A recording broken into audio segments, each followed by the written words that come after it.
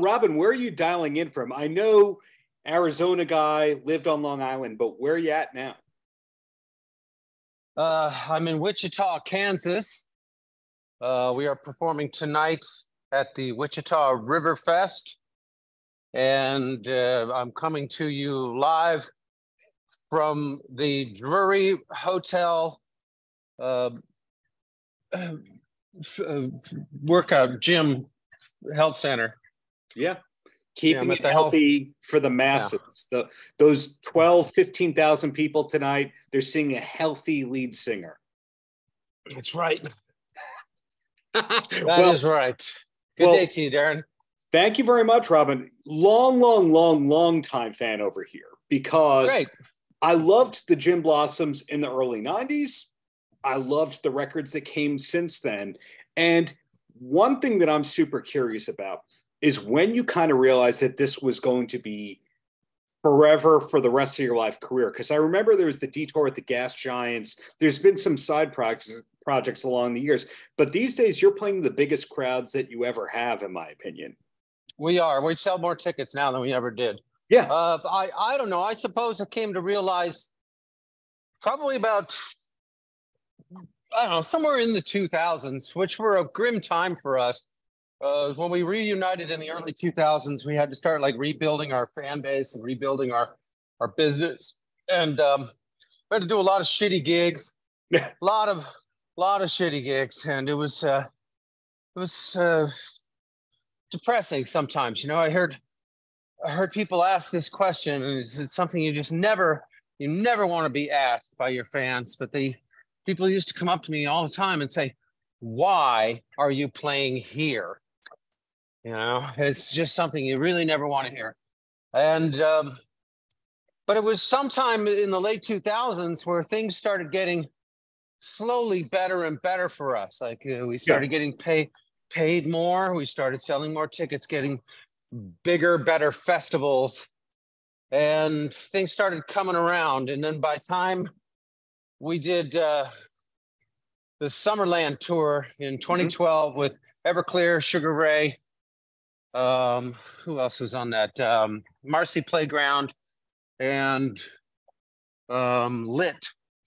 Um, and we really shined on that on that tour and we we consistently got the best reviews in the local papers and that's kind of when i realized uh, we were gonna be able to just keep going for as long as we wanted you know we'd be able to just keep playing and the things were getting better and better and it was also amazing to me on that tour was that we were the most like organized band on the tour you know, we we we'd look at you know, we'd look around and it seemed like we kind of had our shit together. And the other bands on that bill seemed to look to us as uh sort of the the standard. And uh at least that's the impression I got, and from just from things that they would say to me. And Yeah. so I guess it was somewhere around 2012 that I, I knew for sure that we were uh, going to be able to just keep going uh, until uh, until we can't anymore. you know? I would have to imagine this point in time, and tell me if I'm wrong, that the Gin Blossoms have basically two sets they can do. They have the like, here are the eight to 10 massive hits that you know, and then you have the 90 to 100 minute. Here's the hits, but here's the stuff that we really want to play, and the one or two things from the latest record, too. Like, you have those two sets. Yeah, pretty much. Yeah, it's a good good way to put it. We also have a third set. If we go to, uh, we do a lot of private parties these days. Yeah. and uh, p- private like corporate functions, that sort of thing.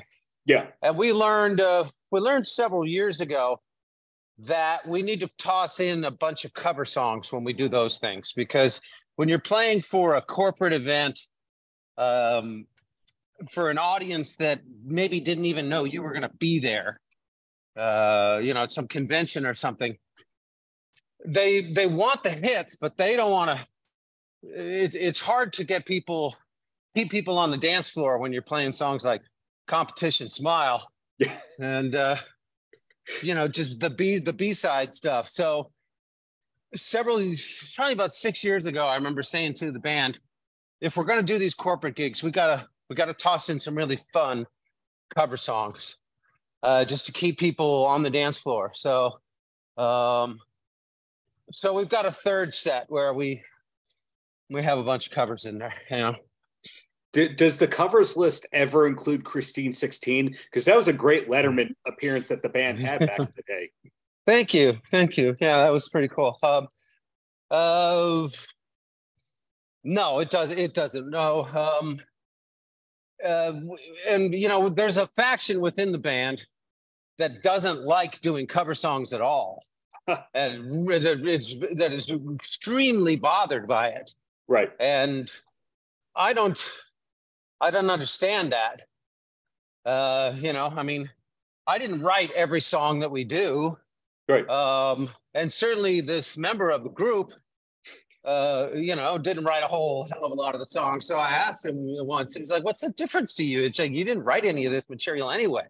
You know, so why, what's, what's the big problem with doing covers? And for whatever reason, he just has this thing it's like a, a point of pride, personal integrity, wants to play original music only. And he, he gets, he really, really, really hates playing covers. So, uh, anyway, you know, you can't. That's just part of being in a band. Is you got to deal with different opinions, personalities, objectives. You know, um, we're we're lucky we've been able to work through most of that stuff and still be together after 35 years. You know. Chalk that up to the Gin Blossoms being one of the most punk rock bands that people don't know is a punk rock band. Because one of the times I interviewed you, I had the pleasure of asking about why you used particular producers and you admitted well there was replacements influenced the whole thing so yeah. in other words this band putting out this radio friendly stuff but there's humor and there's attitude behind the whole thing that's how i always looked at the Gin Blossoms and one of the reasons i really like the band well i appreciate that thank you that's that's nice to hear so with kiss was Kiss an influence on the band, or at that time was that like a hey, do you want to do this? And here's an advance, and you'll be on TV for the promo tour. Uh, well, for most of the band, that's what it was. it was just a just a promotional opportunity. For me, it was a lifelong dream come true. I I literally would dream about being in Kiss when I was like in the sixth grade. I spent my entire the entire year of the sixth grade in my best friend's basement pretending we were in Kiss. Just we would put on Kiss records and he would be Peter Criss and I was Paul Stanley and we would just stand at the foot of his bed pretending we were doing Kiss shows. And um, so for me, it was a lifelong dream and they were a huge influence on me as a performer, as a songwriter. And um, so when the opportunity came up to participate in the Kiss tribute record, I was very enthusiastic and uh, was able to, you know, somewhat easily convince my bandmates to go along with it. And then, you know, I had to look through the catalog to uh, figure out like what song would work for us as a band. And, you know, we couldn't really do some of the, you know, more metallic things like uh, Almost Human or God of right. Thunder, Firehouse, or whatever. You know, we we had to had to look towards the poppier stuff, and um, Hard Luck Woman was already taken. Right. I think Garth Garth Brooks did that one on the on the tribute record. So yeah, uh, I thought I I suggested Christine 16 because it's a real pop song, and uh, yeah, we were able to uh, to get that recorded. I spent a a whole day in the studio hanging out with Gene and Paul uh, when we mixed that record. And uh, it was a, it was a huge thrill for me. I got to bring my Kiss lunchbox and get him to sign it. And my best friend from the sixth grade, I brought his copy of Love Gun and got it autographed. And now that's framed on his on his wall. And I actually, I live with him part time when I'm in Arizona. I live with my best friend Paul. All his kids mm-hmm. have moved away. And so now I've got a room at his house, and that uh, autographed copy of Love Gun is there on the wall every time I go down the hallway. Nice. And uh, yeah, I was really, really happy that I could make that opportunity, you know, opportunity for him.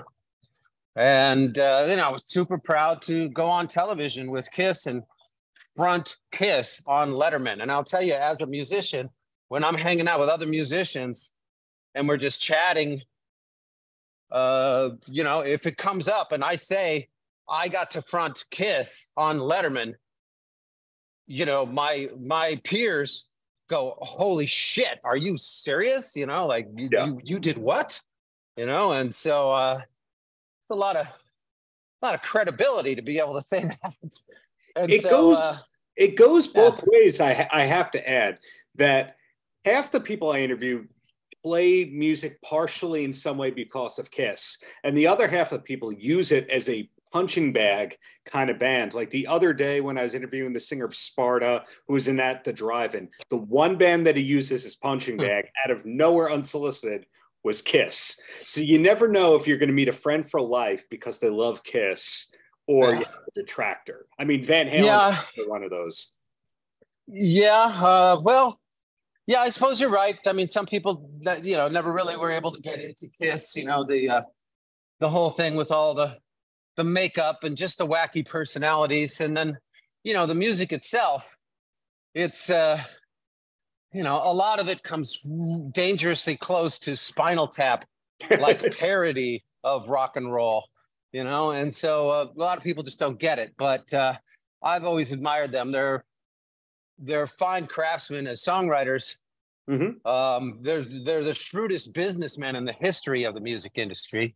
Yeah and uh, yeah, I've, I've, and I love the music. I absolutely love it. You know, another band that people that people don't understand is uh, one of my favorite favorite bands in the world, who I consider one of the greatest rock bands of all time, is The Darkness. Oh, and a lot of people, a lot of people just don't don't get the darkness, and they think it's some kind of a joke. Um, and it's just nothing could be further from the truth. They're one of the most serious uh, and uh, uh, and strongest rock bands in history. And um, it's but it's done. Some of the music is done very tongue in cheek. Totally. And a lot of people people can't get it. You know, I mean, uh, I love how fearless they are. You know, and it works for them. I mean, I could never sing. I could never write a song about Vikings and make it work. Or, yeah. you know, these are these are the kind of songs I was trying to write when I was like in the fifth grade songs about you know Vikings and UFOs and stuff. Uh, but uh, the darkness, they can do that, and then at the same time, they know how to write like a, a universally understood uh, love song or just an anthemic rock tune. Um, there's nobody nobody better. The darkness. Have you heard his podcast, by the way? Before I ask my last question, the Justin. Yeah, Hawkins. yeah, yeah. Uh, Justin's Justin's great. He's he's one of my heroes, and uh, as a rock singer, I think of him as like uh, an Olympian god. You yeah. know, I um, I usually think that I'm I, I know I'm a pretty good singer, and I I'd like to think I'm somewhere in maybe the top 500 all-time greatest rock singers, maybe one of the top 200 living and working rock singers right now. Justin yeah. is number one, number one living rock singer on planet Earth, living, working, current rock star, Justin Hawkins. And a lead guitarist on top of that, which you know he needed more to do, but but, but absolutely, and this and the songwriting vision, you know, just the the vision of of the uh, of a band leader, just you know, so there's none none better. Totally. Well, my last question before I let you go, I'm dialing in from Long Beach, Long Island, New York near where I go figure. In, I guess the skies are yellow. Oh my God. The skies are yellow right now, indeed. And uh, you spent a lot of time in Valley Stream. And when you speak to people who live in Valley Stream, they have their favorite pizza place. The Central, the South, and the North people. Which is your go to pizza place out there? Well, uh, I still live there in Valley Stream. Um, nice. Uh, yeah, and my my ex-wife just sent me a picture of the sky. Uh, she, that's where she's from. Um, and yeah, God, it looks you know downright apocalyptic. It is right now. Here. So, so uh, you know, my heart goes out to you and everybody else. Thank you. Who's dealing with that right now? Um, So my favorite pizza place in Valley Stream, without a doubt, is Ancona. Oh, that and Ancona. It's spelled A N C O N A. Ancona. Uh, it's on uh, it's on Rockaway downtown Valley Stream. Far and away the, the best uh, best pizza, and you know every other pizza joint in Valley Stream or on Long Island is is great. You can't throw a rock without hitting a great world class pizza joint. Totally. Uh, but Ancona stands out. There's something about like uh, their grandma's pie has a sort of a pastry sort of feel to the crust. It's really light and airy, crispy. Um, they use the best pepperonis, those little pepperonis that like curl up into little cups full of grease. Oh, so good. Well, so good. And, uh, you know, and it's fun. Uh, the uh, One of the owners, uh, his name is Wilson. And so every time I walk in, it's like, hey, Mr. Wilson. And I'm like, hey, Mr. Wilson, you know. Uh, so I like that place. And then not too far from my house is another place called Genovese Pizzeria. And I like Genovese. They have a bigger menu, you know, so you can get like lasagna or a chicken parm hero. And um, they deliver. Genovese delivers. So I I I get them a lot so I don't have to leave the house. um, but uh, yeah, I uh, you know it took me a long time to become to to really start to enjoy living on Long Island. It wasn't really until the pandemic, uh, and I then I finally met all my neighbors because I spent most of the pandemic sitting on my front steps, smoking pot and drinking, and yeah. Uh, so you know, people come by walking their dogs, and right at the beginning of the pandemic, I would I bought an Arizona flag, and so I'm the only guy on Long Island that flies a Arizona flag from my front porch, and the neighbors would come by walking their dogs, and then be like, uh, "What flag is that?" You know, and I'm like, uh, Arizona, the 48th state, you know, and they're like, Arizona, you know, and one guy thought it was like like a Chinese flag or something. Uh, but it's sad to me because Arizona's got the maybe the best flag in the country. Uh, it's right up there, one of the best flags. And you know, most people from New York have not been to Arizona and don't know much about it. But um, I, I, was anyway, just El Paso. The next time I go to El Paso, we'll go to Arizona. That is a promise. But you're right; okay. they have not. Yeah. Robin. Yeah, yeah. So I have I've been able to uh, spread the Arizona love a little bit on Long Island. Certainly when I when I first got married in the 90s, my ex-wife, I remember being on the phone with her the first time. And I was I was back in Arizona calling her, you know, trying to woo her in the early days of our courtship. Sure. And she was she was asking about Arizona and she says, "Don't you get sand in your house?"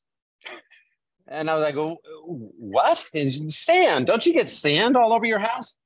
Like she literally thought that Arizona was like the Sahara right. desert, you know, or the planet Arrakis or whatever. Um, so I've been able to educate a lot of people in New York about Arizona. And also I want to mention that I, during the pandemic, I started immediately, as soon as the pandemic hit, we all went into lockdown.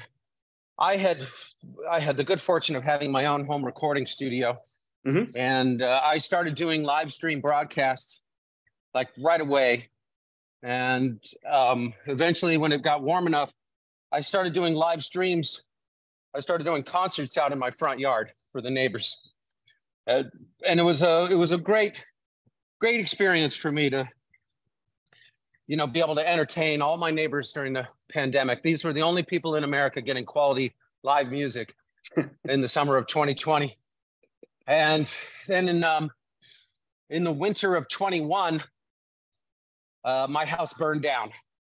Uh, there was an electrical fire. The porch went up, so one whole side of the house caught fire, Ooh. and I was standing out in the snow, two feet of snow, in my bare feet, because I was in the shower when the when the house caught on fire.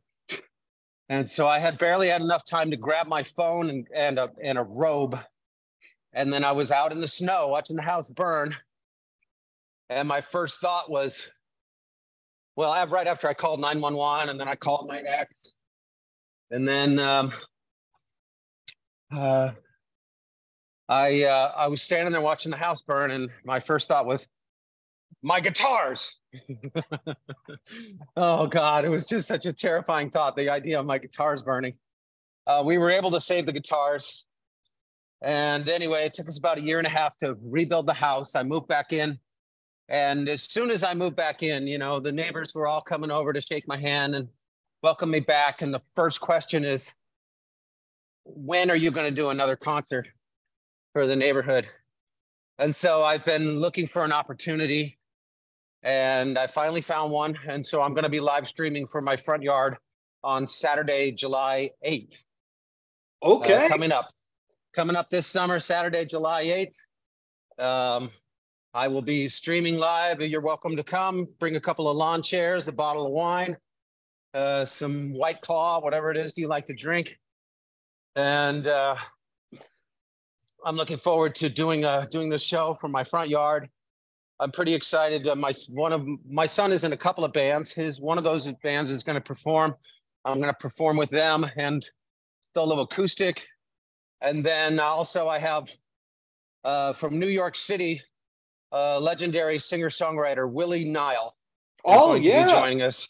Yeah. Uh, so Willie's going to be performing as well. So we're going to be live streaming this from my front yard Saturday, July 8th, approximately 3:30 in the afternoon. I haven't really pinned down the exact time yet. It's going to depend upon when what time the sun is going down. But we'll we'll try and start about two hours before, two and a half hours before sundown. I and uh, I'm putting anyway. that on the calendar in the article, etc. And when you get along with Willie Nile, you know you're good people. I mean, let's face it. How many people on this planet does Pete Townshend like? And uh, Pete Townshend likes Willie Nile. So yeah, yeah, he's pretty he's pretty incredible as a songwriter, a performer. Willie's Willie's is awesome, and he's a he's a friend of uh, my ex-wife. And I went to see him recently. He performed on Long Island, and I was at the show, and uh, I had a great great time. So, um, yeah. So anyway, and my my son is in a band called uh, Theo and the London Outfit. They play around Long Island, Brooklyn, Queens, and whatnot. So they're going to be on the bill.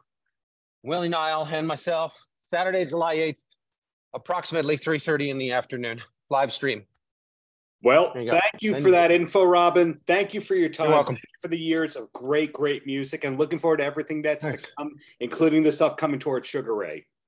All right. Yeah. Yeah. We should mention that. Yeah. Fastball, Tonic, and Sugar Ray. These are my three favorite bands to tour with.